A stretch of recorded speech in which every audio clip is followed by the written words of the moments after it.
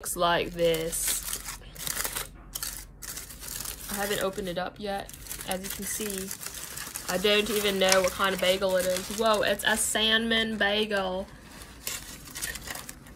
It's cut so nice. Okay, so it obviously has so many things. I don't even know what kind of bagel it looks like it's a pumpernickel. It's everything bagel right here. Um, and it has salmon, cream cheese, and some lettuce. It's good stuff, good stuff. Um, see how it tastes.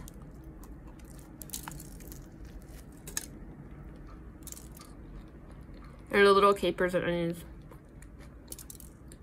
A good amount of salmon. It used to be about 9.50 two years ago. It might have increased to like 11.50. Price is pricey, but still good. Overall, 9.7 out of 10.